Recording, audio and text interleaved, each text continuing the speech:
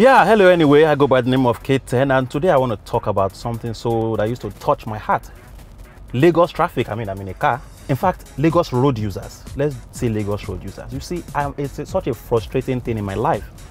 For example, there's line in the middle of the road. Hello, sir. Stay on the left or stay on the right. But no, people choose to drive in the middle.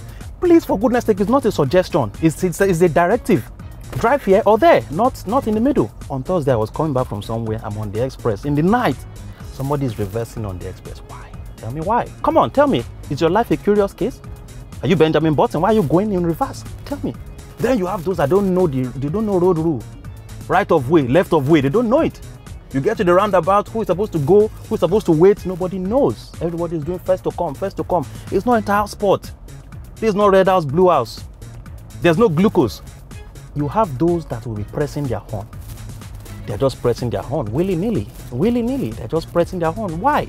You see, I advocate for something. I wish that horn can have expiry. Oh my goodness, you see?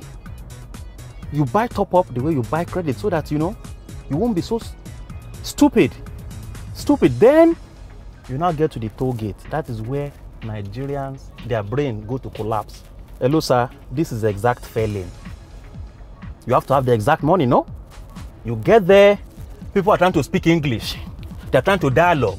Dilly dally, trade by barter. Hello, sir. Reverse out. Get out of here. There is arrow. Come here. Arrow. Come here. Arrow. Come here. Mm-mm. That's three lanes, but there will be six. Why? Then you will have one stupid damn fool, and I'm, I'm always watching them in my side mirror. Watching the mirror attentive. Watching the mirror attentive. They will just go and try to come in front of you. No, sir. I'm watching you. I've edged you out. You see, because in this country, if you don't behave crazy, you will become stupid. Are you understanding me? Nigerians, please, please, let's let's let's be okay on the road. Let's be okay on the road, please.